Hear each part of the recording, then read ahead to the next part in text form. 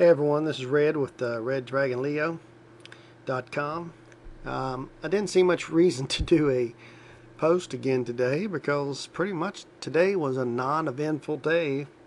We didn't do anything but trade sideways, so I'm just going to give you a little video here as an update, and uh, and that should just cover everything.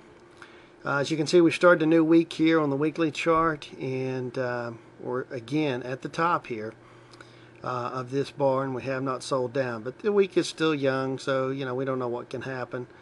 Um, right now, it does look like that uh, it's wanting to roll up, and again, we are going into the summer months, so you know I wouldn't be surprised to see um, this sell-off that uh, that we're looking for, um, you know, not materialize and us just kind of trade sideways.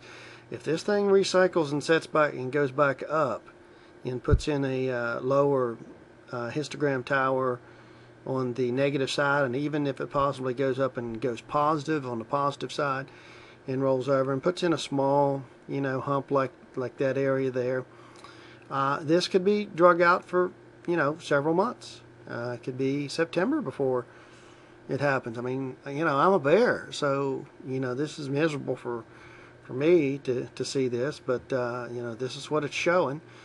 Uh, of course, this bar here, you know, well, it's only day one, so we really don't know. Now, if it ends up the week and we do have a sell-off and this bar comes down here lower, then that'll straighten back out and we'll be headed lower. But but this being options expiration week, I really don't see that happening. Um, you know, here we're trading sideways. We're not above. Um, we're at 46.77 on the RSI, so that's still bear territory. If it's 33, that means there's two uh, two uh, stocks being sold for every one being bought, which is very bearish. If it's 66 or above, then it means it's um, two to one buying. So that's what that means. We still don't have a cross here. I think this is going to stretch out, and I think it's going to trade sideways. I really do. I think we're going to get fooled, uh, and I think it's going to go up uh, over the course of time. Let's go into the daily.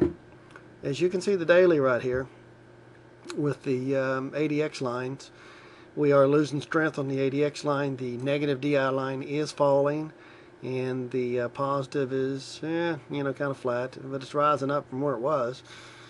So, um, you know, I think it's going to have a little crisscross action there for a little while uh, until it decides to make a move, at least all this week. Okay, uh, next week's another story. Uh, but as you can see right now on the RSI, it's at 50.96. If this, so it's crossed over the 50 mark. So if this thing, you know, runs up here to 66, um, bears are in trouble. It's going up, it's going to go higher. I mean, again, two to one buying versus selling. Um, and and you can see it is turning and going up. Uh, you know, this you could call this an indecision candle, but how the heck do you call it that when it was just such a low volume day? You really can't call it anything. Just a sideways day.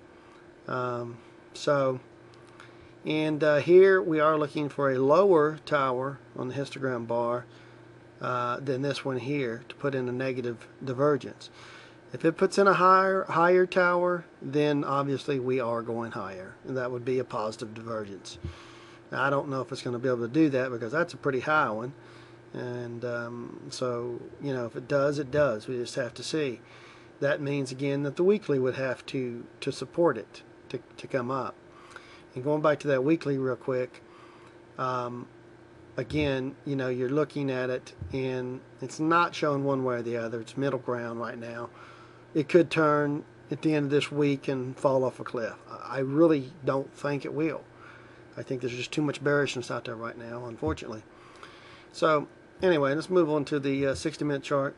Nothing to see here on the 60 minute chart. As you can see, we did sell off a little bit. We went down into negative territory, and it looks like it already wants to roll back up. I mean, it is crossing down, but I mean, the slow stochastics here is pointing back up. Even if it goes down tomorrow, uh, that might be our B leg retracement on this move.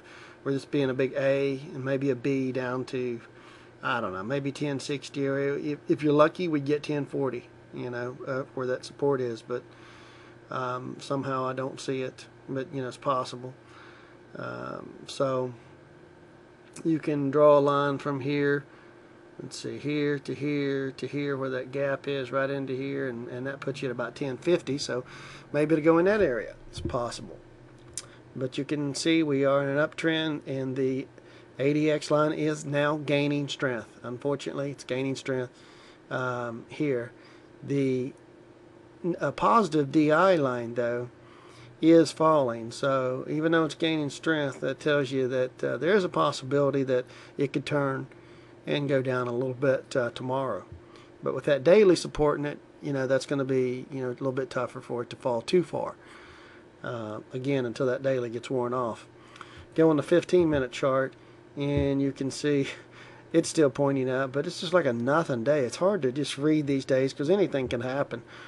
As you know, we could, um, it's just kind of pointless to look at these right here because it's just the light volume just it skews everything and it's very very difficult to, to, to get a read on it. At any time they could come up with stage some another event and and boom there could be a big sell-off. Um, but you know I, I just don't think they're going to. I think they're going to take it up to uh, 112.41 that print I was telling you about. Uh, and then when they're done with that uh, then the, then there could be a big sell-off uh, possibly it's again, I'm reaching out there, and uh, even the monthly, yes, we're bearish. The weekly, we're still bearish um, until this week ends, and we'll see where it goes. Because again, if on this weekly, if this bar becomes lower, and this starts to roll back up, and this continues to roll back up after this week is done, then I would again say that we are going up in a in a wave two up on the weekly. And uh, this was a wave one down. And that's what I would just say. But again I'm not an Elliott wave person so I don't know. But it just looks to me like this was a, a one one one down two up right there at that peak um, three down here four up at that peak and then wave five down here so it's like five waves inside of one large one wave um, and um, and then this would be the wave two up. So we could go up another week, and then maybe the week after options expiration, then we could sell down for the wave two and or the wave B. You'd be an ABC uh, on the way up, I believe, and so it'd be like three waves up. So you could go uh, up this week, and um, and then maybe down the week after options expiration, and then maybe back up for a C wave to fool everyone. Um, possibly, we, you know, it, again, we just got to look at it, uh, you know, a little bit at a time. But you know, the monthly is still showing that we're headed down. It's not showing that uh, we are moving up or anything like this. There's no turn or anything. But um, you know, that's a it's a it's tougher to read because that's just a long term out. So uh, but that's it. Uh, we're pretty much the same place we was on Sunday's video. So, um, so I guess I'll see you guys tomorrow.